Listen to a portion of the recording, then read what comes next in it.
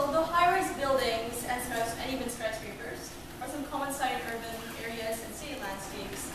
keeping the exteriors and the windows in a reasonably clean state can actually be sometimes a costly and even labor risking undertaking. Today's um, today's high-rise clean maintenance is still usually done by hand, such as window cleaners. And there are a few devices out there actually that can clean windows in a semi-autonomous fashion, but either these are not used for industrialization or or some products just exhibit several disadvantages such as too much weight on the building, on, on the windows, or or um, requires two or more people to operate it. Because the annual cost of manual cleaning exteriors can range from hundreds to thousands of dollars depending on the building, The owners may be reluctant to have it cleaned with a minimal amount of frequency, such as shifting it to an annual frequency instead the usual biannual.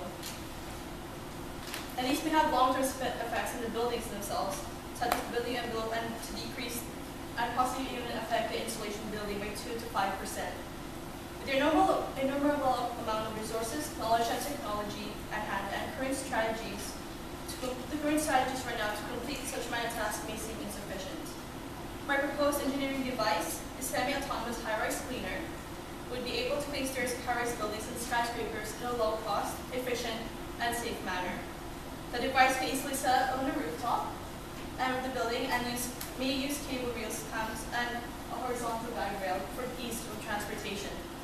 In order for the device to travel between the surface by itself, the area dimensions will be entered onto the device, and it will travel in a vertical manner from top to the bottom and then come back up for extra cleaning,